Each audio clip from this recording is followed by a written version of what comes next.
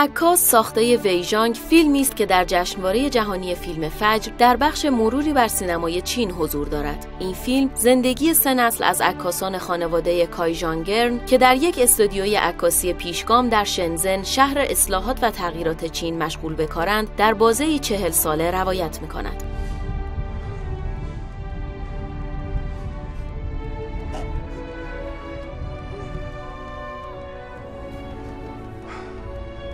ویژانگ در استان هنان چین به دنیا آمد و در رشته های کارگردانی در آکادمی فیلم پکن و مطالعات سینمایی در آکادمی ملی هنر چین تحصیل کرده است. از جمله فیلم های او می‌توان به رویای پکن، رئیس کارخانه و دنده اشاره کرد. عکاس مدت زمان 112 دقیقه ای دارد و قرار است برای اولین بار در عرصه بین المللی در جشنواره جهانی فیلم فجر حاضر شود.